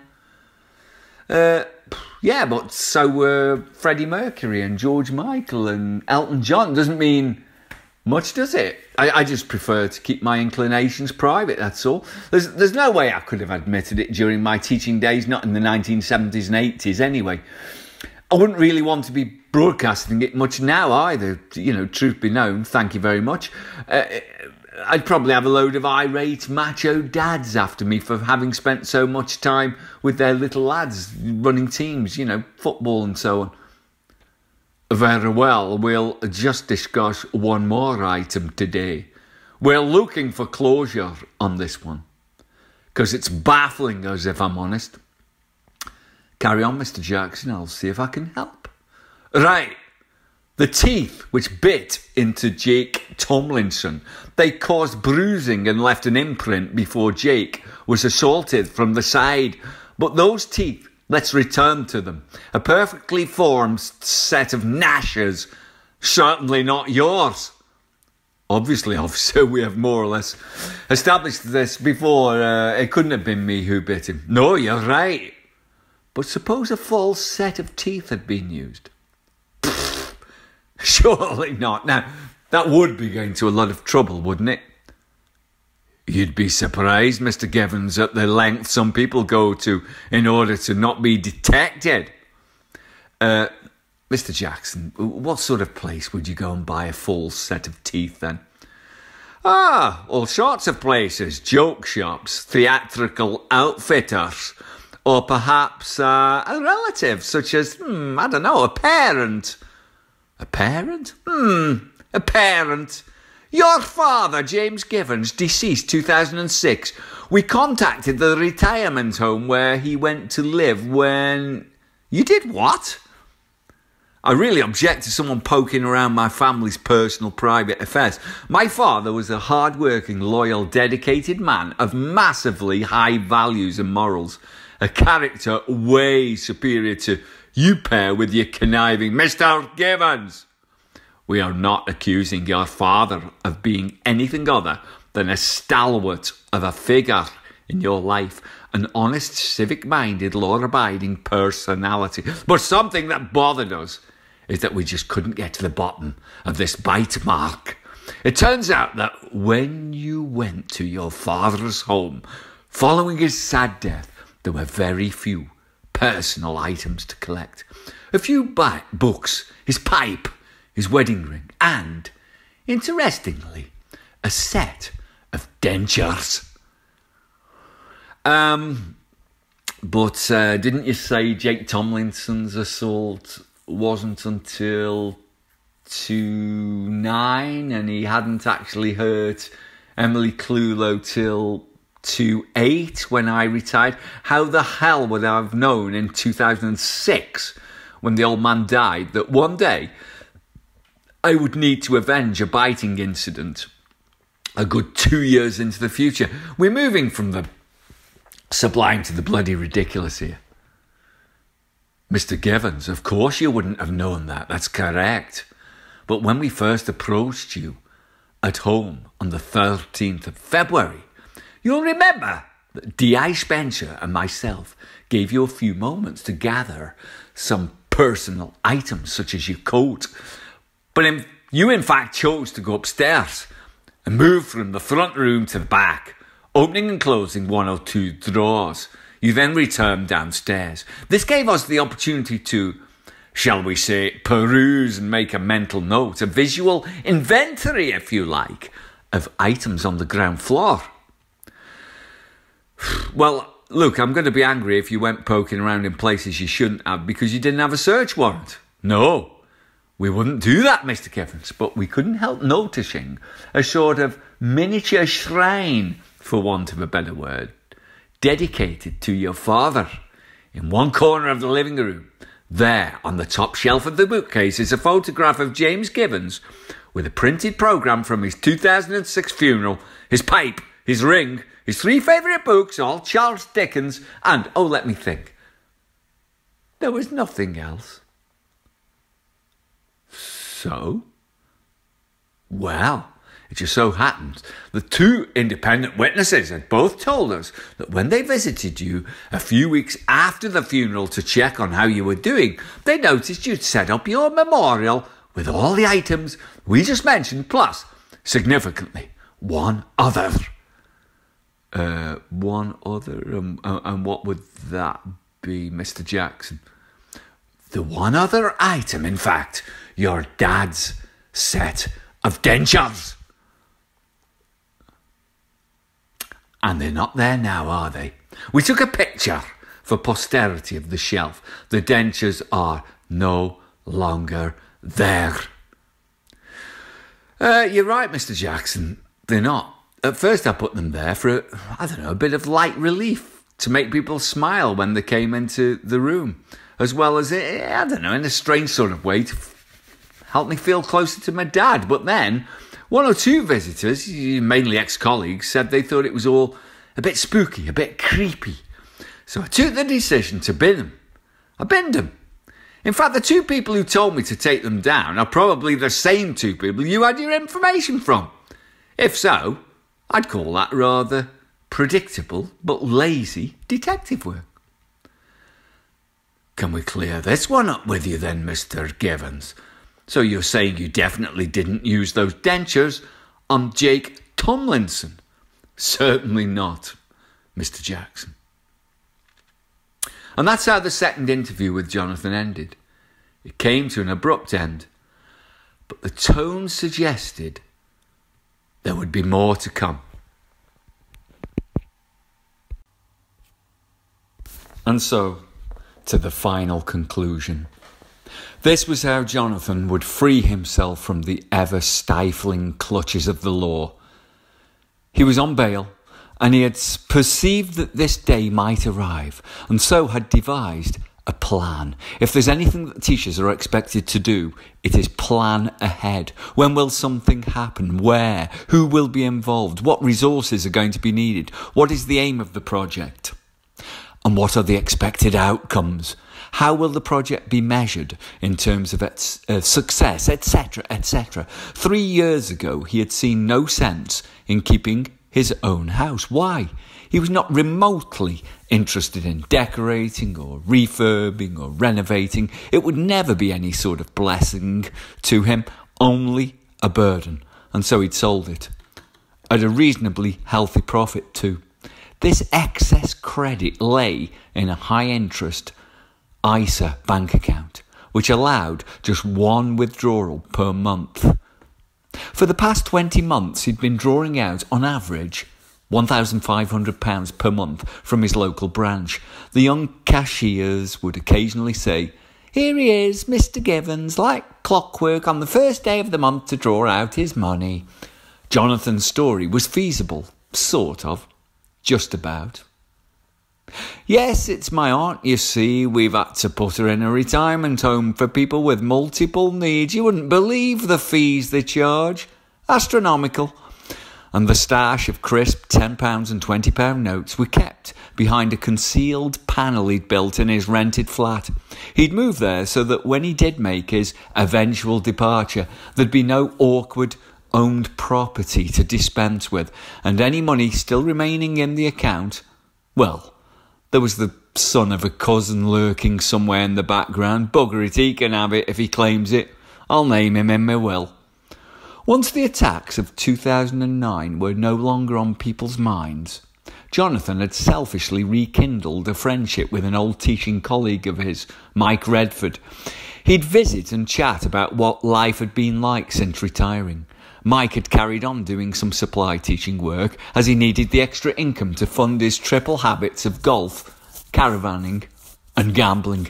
He lived on his own too, so Jonathon knew which days, which weekends, and even whole weeks Mike would be away in Southport. He would slip into Mike's house using the key under the plant pot in the entrance and help himself to just a few items of identity documentation so that he could photocopy them before returning to where he'd had them from. We're talking utility bills, golf club membership, driving licence, and so on. Jonathon was slowly, meticulously, methodically building up an alias which he just might have to spring into action at some point. That point had now arrived. Jonathon had even forged a reference of Mike as if someone had written about his solid, reliable teaching performance and his usefulness to the local community. Just in case any potential employer needed to speak to someone and have this information verified, Jonathon included a telephone number of a mobile phone he'd picked up at the local market with a pay as you go SIM card so that any incoming verbal inquiries about a certain Mr. Redford would come directly to him, to Jonathon. The letter went on to say that Mike could be relied upon to carry out all tasks requested of him in a cheerful, cooperative, and diligent manner, and that if any further information were needed, the reader should not hesitate to contact the following number. It felt strange that Jonathon had always boasted to people that, despite his uneventful and insignificant lifestyle, he had nevertheless not hurt anyone physically, not robbed anyone, or fraudulently acted in any way. He now had to contemplate the fact that he'd possibly broken all three of his own virtuous, highly moral pledges. But he couldn't allow that to bother him psychologically, not now. This was, after all, survival. The plan and how it would operate had been formulated military style right from its conception. When those officers had knocked on the door back in February, Jonathon knew that there would be maybe a couple of months of questioning, building a case, interviewing witnesses, etc., before the files could be submitted to the DPP to decide if it was in the interests of society to charge this man. Jonathon felt sure it was going to be a yes, and so he had just a few weeks to activate the scheme. At the first opportunity, shortly before the second police interview, he'd used public transport to travel to Bournemouth. Why Bournemouth? Well, apart from Devon and Cornwall, it was possibly the furthest point in England from Stoke-on-Trent. He was about to go missing, go AWOL. By studying previous similar cases, he concluded that those who only branch out, say, 25 to 50 miles from their hometown and from the scene of the crime, were likely to be apprehended within a few weeks or a couple of months. However, those opting for a 200 mile plus distance from their hometown might expect a few years' freedom. As he was approaching 66 and still had little energy in the tank, then if he could delay the inevitable until, say, 70 years and, of age and beyond, now that would give him some pleasure, a sense of getting one over the system. He'd visited one of the larger hotels in Bournemouth, armed with Mr. Redford's particulars. He'd even photocopied Mike Redford's birth certificate, the cheeky sod. Mike's three years younger than me, so now I'm entitled to think of myself as a mere 62 years of age. I've been handed extra life. This hotel had what you might call a revolving door when it came to recruiting and retaining staff. They had a system of using cheap East European agency labour to carry out the cleaning and cooking. They needed someone to run the bar in the evening and carry out a myriad of menial tasks during the daytime, such as emptying bins, arranging tables and chairs for functions, and taking the laundry to an outside contractor. But the major benefit of this post was that they decided not to set fixed payments. Instead, remuneration would be in the form of accommodation, a tiny room containing a single bed, a small wardrobe, and one chair. It would include three meals per day and any tips he made. They had specifically stated in the handwritten advertisement in a shop window that the post would suit a retired or semi retired person who is affable, a good communicator, and who is looking for board and lodgings to be part of the payment package. Perfect. That'll do nicely. One short interview and the job was Jonathon's. All he needed to do now was remember his new name and new age. The date was set for him to start, and he was also encouraged by the promise of extra cash in hand work at their sister hotel in nearby Boscombe from time to time at busy periods. So everything was now set in motion. Jonathon returned to Stoke in order to allow matters to take care of themselves. Yes, there would be more knocks at the door, more invitations to attend police questioning, but he simply didn't care anymore. It didn't matter. None of it mattered. He didn't feel proud of the way he'd manipulated people and lied about stuff. His younger self certainly hadn't envisaged that one day he'd need to create a whole new persona in order to run away from himself. He justified it all in his head with semi aggressive, grudge bearing assessments of those three who he'd attacked or who'd been attacked in 2009. If Frankie hadn't caused me so many professional problems, he'd have been spared. If Lawrence had one scrap of conscience for what he did to me as well as other colleagues, he'd have been free. And if Jake had not told such huge, disgusting, vile lies, then I wouldn't have to be telling these lies. He packed a few shirts, trousers, jeans, underwear, and a couple of pairs of shoes in a suitcase. He carefully counted the £28,500 he'd been hiding in the flat, and it was placed in bundles of £5,000 in various zipped pockets on his outdoor adventure jacket he'd recently acquired for its secure storage potential. A rucksack of essential papers, ID documents, and a couple of books completed the escape kit. He didn't want it to look like he'd taken everything with him, as this would suggest he was about to embark on a new life elsewhere, and he wanted it to look like he had, in fact, ended his life. A suicide note was left. Its desperate tone of misery pointed to a life with no family, no partner, no parents, no siblings, no interests, but a huge, huge pressure which had been placed on him unfairly by the local police. It is they who were being blamed for the insurmountable level of stress he was now suffering, and it had left him in no doubt that the only solution was to take his own life.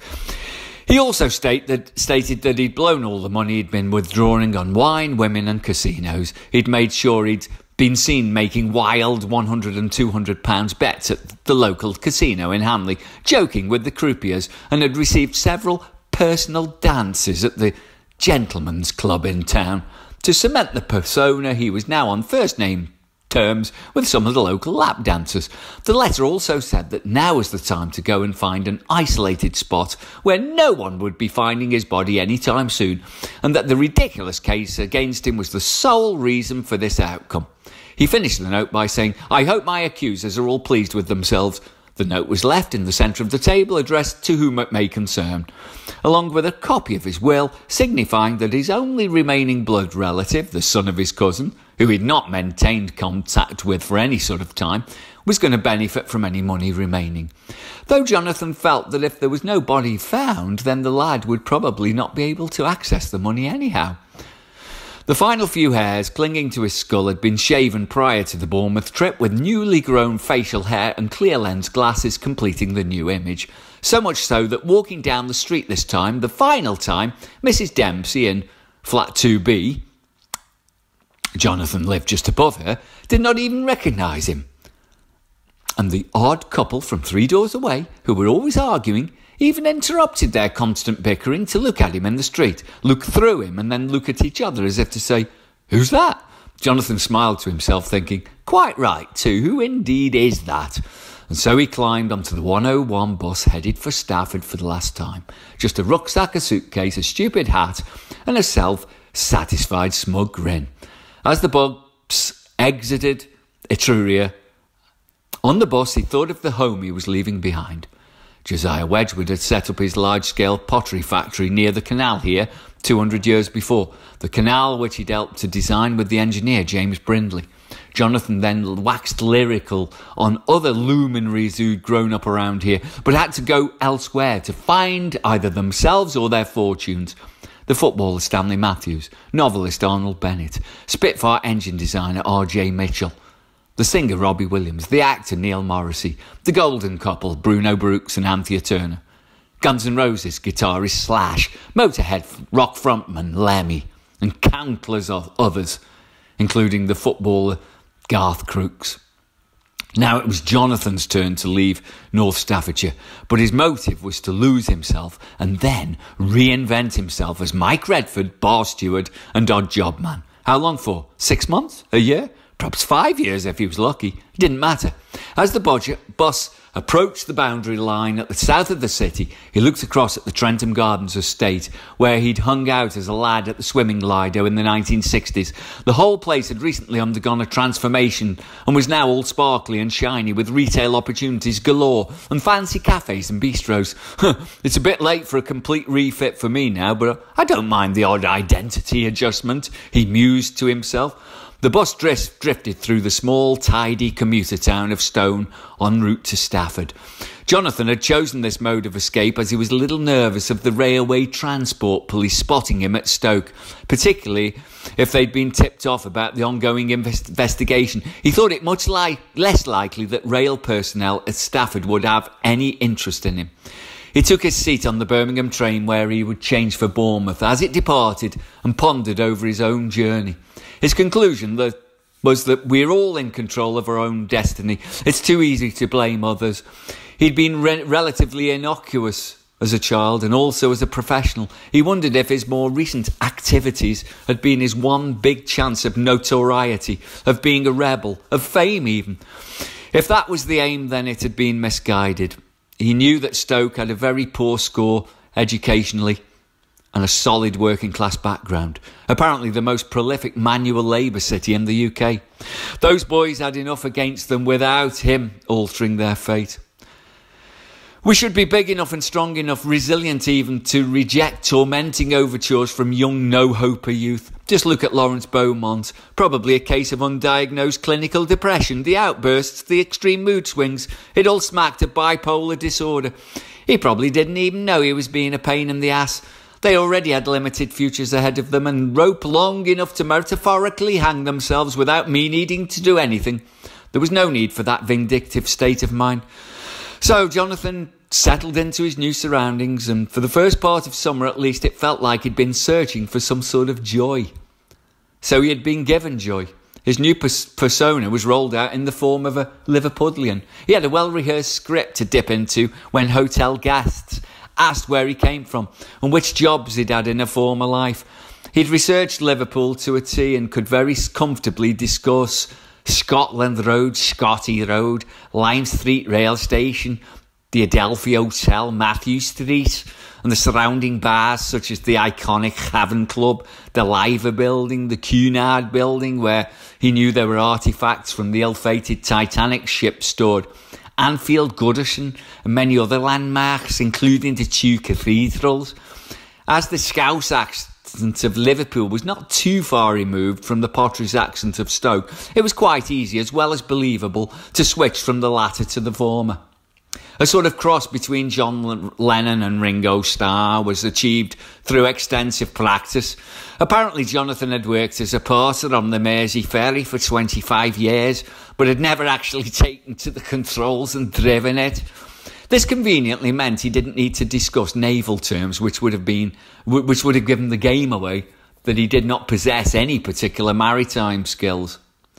The only issues arose when guests from Merseyside happened to stay at the hotel. He would then play down the authenticity of his Scouse background and instead say he originally came from Birkenhead, you know, across the water, the posh end of Liverpool. His duties included lots of menial tasks which kept him occupied and distracted collecting the laundry, emptying bins, making breakfasts, vacuum cleaning, the occasional decorating. The couple of hours' freedom during afternoons gave him time to wander along the coast, collect his thoughts, and surmise that in the circumstances he had quite a decent lifestyle. He never let his disguise slip. The shaven head, the beard, the constant wearing of glasses meant his appearance had changed considerably from when he'd been at home. There was also the hotel's other property in Boscombe, where he would be needed for bar or waiting on duties at busy periods such as weddings.